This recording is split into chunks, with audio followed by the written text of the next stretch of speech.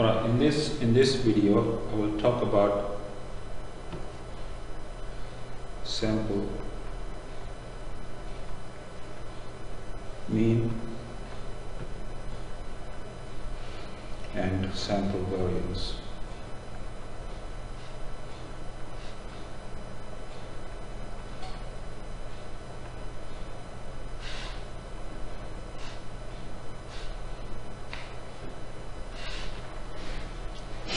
Right? Suppose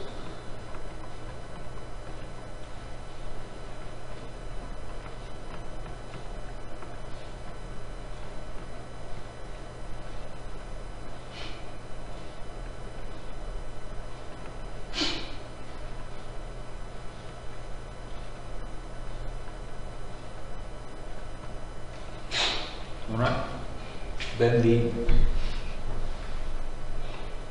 uh, then the sample mean is defined as follows. Well, it's denoted by x bar and is defined as 1 over n times the sum of xi. And the sample variance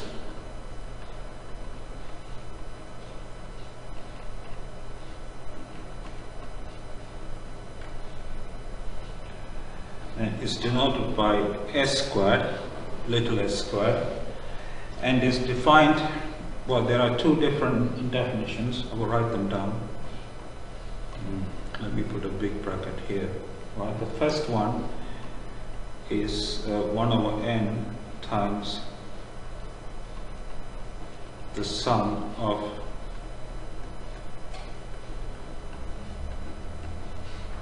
and this is not this is known as a biased version. Uh, this, this is a biased version of the definition of sample variance. I will explain why this is the case later, later in the course. And there's a second definition which instead of instead of 1 over n, it has 1 over n minus 1. And there is a reason for that which I will explain later in the course and this is known as the unbiased.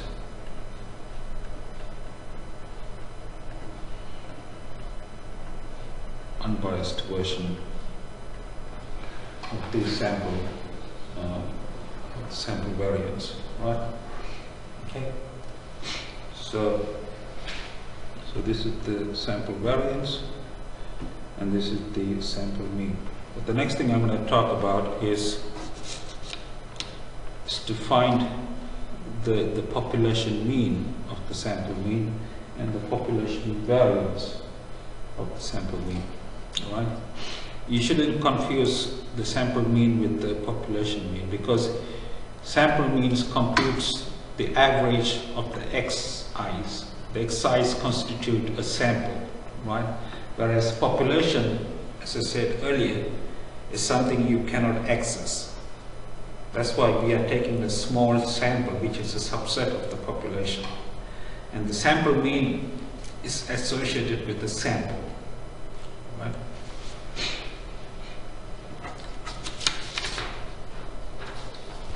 Right. So in this uh, in this slide, I'm going to talk about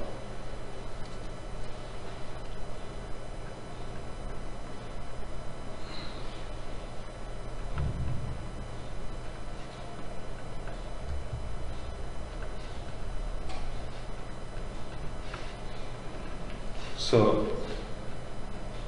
X bar, remember X bar is the sample mean, right? And I want to tell you how to find the population mean of X bar. Remember population means corresponds to expectation, right? So what you need to do is to find the expectation of X bar, right? In order to find this, you just need to find this.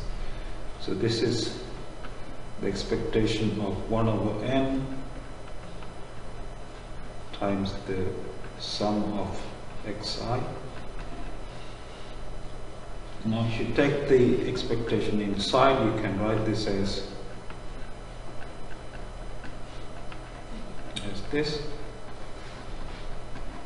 Alright, now what you have here is the expectation of x1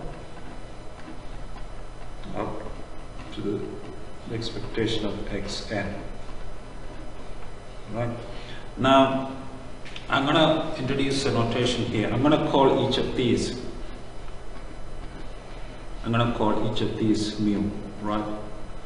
So here, where um,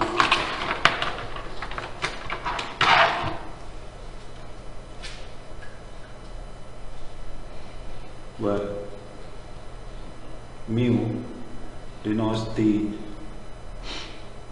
popul uh, population mean.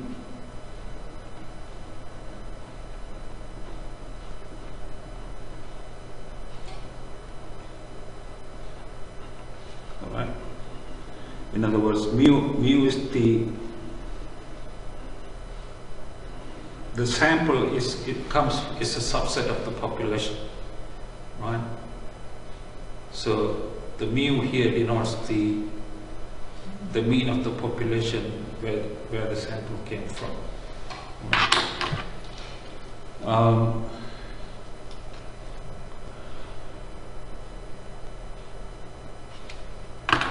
so not not to confuse you, is the population mean of of X, right? By the very okay. Okay. So this will be 1 over n times n mu, and this is mu. So the population mean of x bar is equal to mu, which is the population mean of x, right? Okay. Right, now the next thing I'm going to show you is how to find the population variance.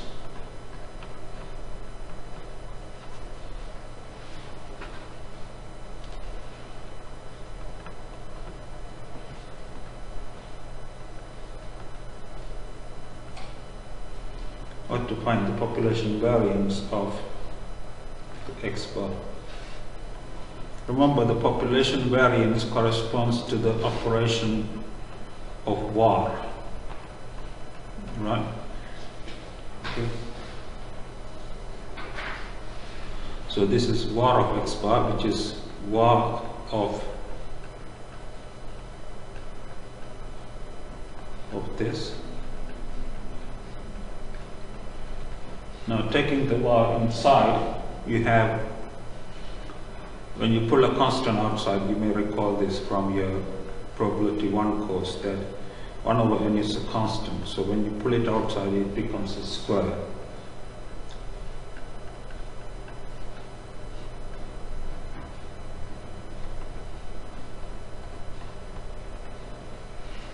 Alright, and this becomes 1 over n squared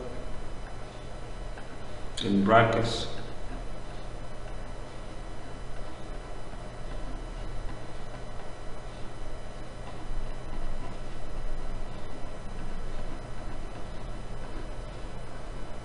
Okay. Now, let me call each of these guys here. They have to be the same because x1 to xn is a random sample. Let me call each of these guys here sigma squared. So sigma squared here is the variance of x1 up to variance of xn. So in other words, sigma squared is the population sigma squared here is the population variance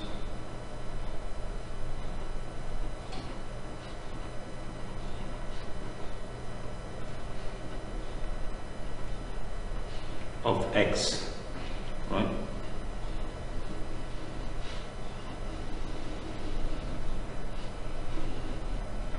Okay. Okay, so this becomes 1 over n squared there are n of this, so this is n times sigma squared. So this becomes sigma squared divided by n. Alright? Now I'm going to do a couple of examples. Okay, let's start with the with the example that we one of the examples we talked about earlier. You may recall. Uh,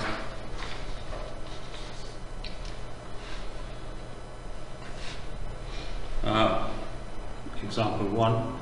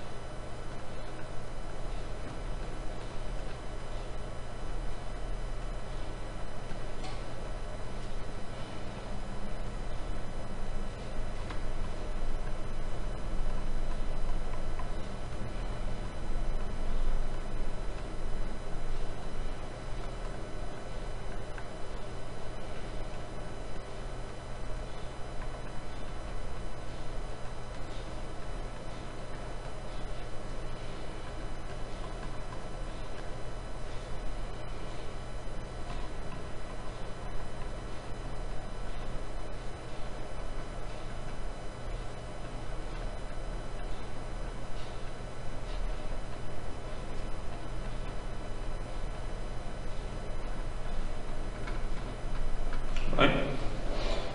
Uh, so this is an example that we looked at earlier, where you have a random sample from a Bernoulli population with parameter p, and you may recall, you may recall that the the expectation of x, remember mu denotes the expectation of x for a Bernoulli population is equal to p.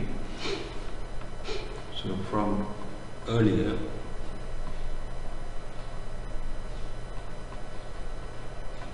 And you may also recall that the, the variance of x, which we worked out earlier, was equal to p times 1 minus p. Right?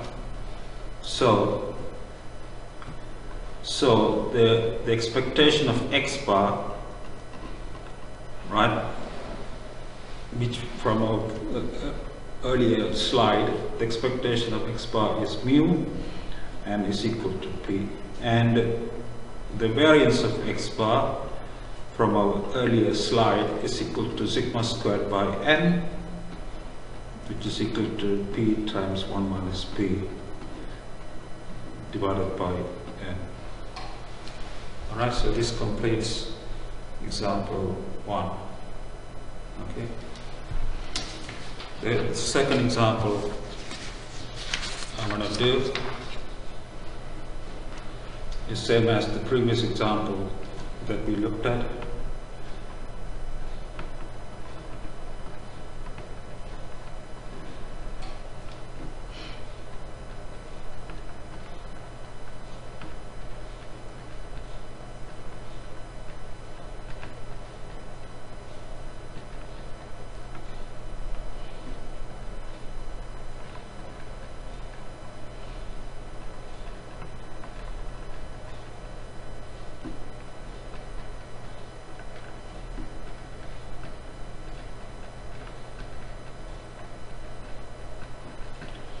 Right, we have a random sample from a uniform distribution and we want to find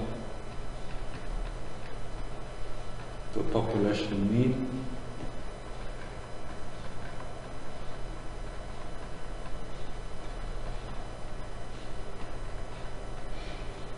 and the population variance of x bar, the sample mean. Now from, from the earlier example uh, that we did,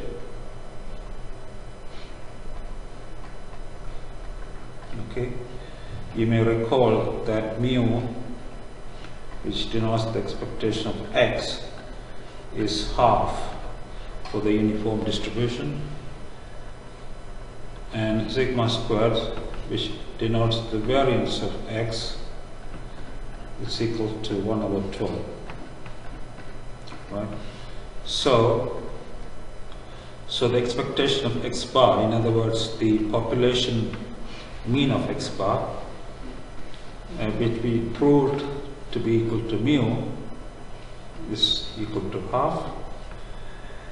And the variance of x bar, in other words, the population, vari- population variance of x bar is, we proved earlier to be equal to sigma squared over n is equal to 1 divided by 12 times n.